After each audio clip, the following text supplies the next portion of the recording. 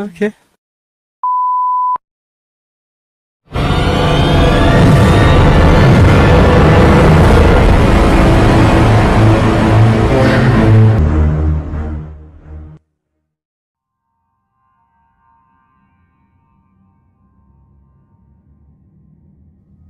So what's up mga kaparing at welcome and welcome back muli mga kaparing sa ating panibagong video. So what's up, what's up man, what's up sa inyong lahat mga kaparing no. So for today is another day for our creepypasta video day. So ngayon mga kaparing ay isang panibagong nakakatakot na seed na naman ang ating susubukan. So kung ano ang pangalan ng seed ay yun din ang ipapangalan natin syempre sa mundong gagawin natin. And ang pangalan nga ay Anvil O. So totally yun na rin ang pangalan ng seed no. So hindi ko alam kung ano nga ba ang misteryo na bumabalot sa seed na ito kasi sabi nila no most of them um, ang seed na ito ay sobrang creepy talaga okay?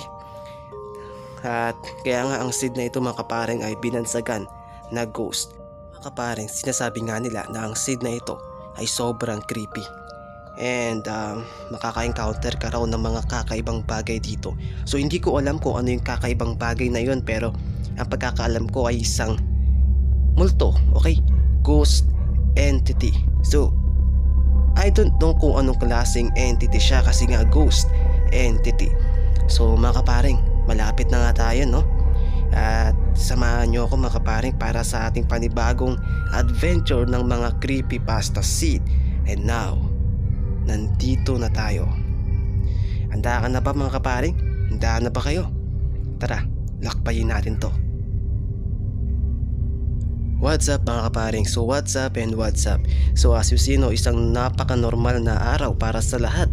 At syempre dito sa Minecraft, kung mapapansin nyo, ay isang normal na bagay naman dito. At sa unang respawn pa lamang ay wala namang kakaiba mga kaparing no. At kung makikita nyo nga no, napaka uh, yan, napakalawak nito. At sa tingin ko ay wala namang kakaiba pero umaga pa lang naman kasi mga kaparing. At kaka-respond lang naman kasi natin no. So um, why not no na baka pag sumapit yung gabi ay tsaka may magpaparamdam sa atin mga kaparing na kakaiba. Okay, so ngayon kuha muna tayo ng torch um, para kapag sumapit na yung gabi eh, maski pa paano eh magkaroon man lang ng liwanag. Kasi based nga sa napanood ko mga kaparing so hindi ko nababanggitan yung pangalan niya no? Pero um, makikita nyo yung pangalan niya kapag um, binanggit o kapag sinearch nyo ang seed ng video ito. So yan um, base nga dun sa napanood ko mga kaparing no? Eh ghost ang nakita niya. So hindi ako di, di ko alam kung paano or ilang araw siyang nanatili dito no? So ayan. Um, tila wala namang kakaiba dito banda. Pero hindi tayo sigurado dun man. Okay? Kaya man kailangan pa rin natin syempre manatili dito ng ilang araw o gabi. Kasi baka pag sumapit yung gabi eh doon lang may kakaibang magpaparamdam sa atin o magpapakita something na ganyan So, uh, mga kaparing no, kapag sumapit din nga pala yung gabi no, um, so may nalaman kasi akong isang ritual. So ang ritual na ito ay para din dito sa seed na ito. Ayan, so ang ritual na ito ay tila ba na yung maglalagay tayo ng apat na torch sa kanan, kaliwa, sa harap at sa kanan ay sa I mean sa likod, okay? Pero doon sa pinakagitna, mayroong doon ilalagay na isang sign. Okay? Tapos sa sign na yun ay may nakalagay na where are you.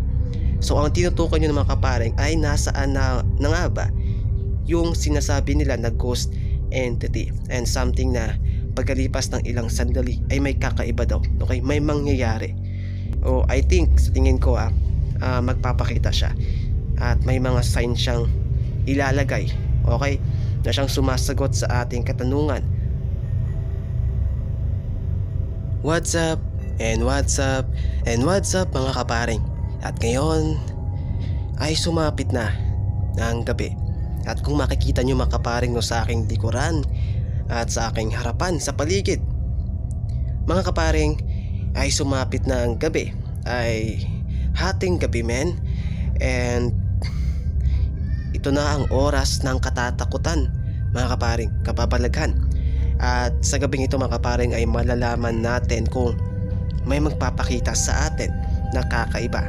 Okay kung may magpapakita sa atin na isang ghost entity. So ngayon ay syempre iikutin muna natin itong paligid. Kasi malay natin no baka nasa baba. O baka sa ating pag-iikot mga kaparing ay meron tayong makita na isang entity sa seat na ito mga kaparing. So siguro swertehan lang no na maka-encounter ka ng entity sa seat na ito mga kaparing no okay so mga kaparing um, ilang minuto na nga tayong nag-iikot-ikot dito banda So parang wala naman siyang kakaiba no. Parang wala naman akong kakaibang nakita.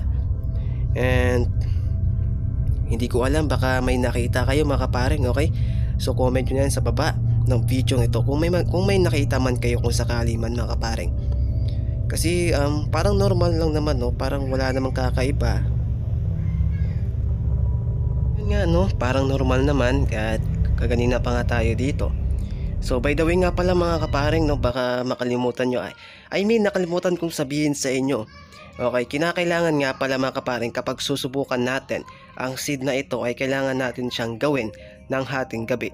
Okay, tulad ng oras ng alas 11, alas 12, alauna. Pero wag lang natin subukan syempre mga kaparing ng alauna. Okay, hanggang 12 tsaka 11 lang kasi um, epektibo pa naman din yung ganong mga oras sabi nila. Pero hindi ako sigurado. Okay, um, tila ba, um, teka, teka, teka. Ah, mga kaparing, parang napansin ko lang, ah, teka, hindi, hindi, ah, hindi ako gaanong ano ah, hindi ako gaanong sigurado, pero parang napansin ko lang ah, parang may kakaibang nagpakita sa akin doon na kulay puti. Hindi ko alam kung ano siya or hey, I don't know mga kaparing sina. Hayaan nyo na i-review ko na lang mamaya, okay? Yung video ito. So mga kaparing, kasulad nga ng nasabi ko sa inyo kanina, ay ito yung tinatawag nating ritual. Okay? So ayan, kung makikita ninyo yung apat na torch at nasa gitna nga po yung tanong. So what's up? Ay teka, men, wait. What? Is it, is it entity 303 man? Teka men. Um, pero, teka. Ah, something. Parang kalahati yung katawan niya so um, ghost entity man? Oh my Sino to men? Entity 303?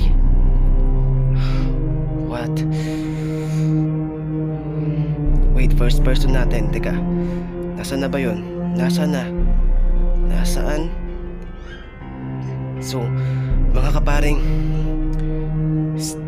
hindi hindi ko in-expect sino siya ba yung sinasabi nila mga kaparing na ghost entity? Nako, ah man, delikado tayo dito. Kailangan na yan nat nating umalis dito. So what's up sa inyo mga kaparing no? Um, mga kaparing, wala nga no, so pagkatapos nga na pangyayarin yun, so wala naman. At napakarami ko ng torch na ilagay dito. At kakaganina ko pa siya hinahanap mga kaparing, so wala nga no? Wala. I mean, wala na siya mga kaparing, hindi na nagpakita sa atin. So kakaiba man. At mga kaparing, pasensya na kayo ah. Um, hindi ko na i-record ah, kanina pero kanina mga kaparing may mga naglalagay ng sign na may nakalagay na I'm here. So, um, para bang naka-invisible man. So, hindi ko maintindihan kung paanong paanong nawala ang record ng video iyon. Okay? So, parang corrupted mga kaparing yung video, yung recording na yon So, corrupted. So, um, mabuti na lamang mga kaparing at panibagong record no yung ginawa ko kanina na kung saan ay may mga naglalagay ng sign na I'm here. Kaya naman yun lang ang tanging video corrupted. Hindi ko maintindihan mga kaparing. Kakaiba. So kaganina pa nga tayo naglalagay ng mga sign dito na nasaan ka, where are you at ang tanging tugon lamang sa atin ay mga sign na inilalagay ng hindi ko alam naka-invisible men ang entity na ito, ang ghost entity na ito At kung mapapansin nyo, ayan, I'm here. So yun lamang ang tanging nakalagay mga kaparing. So inabot na nga po tayo ng umaga dito at sobrang creepy talaga man. Hindi ko in-expect ang ganitong klase men. At kakaiba yung kapangyarihan ng ghost entity na ito.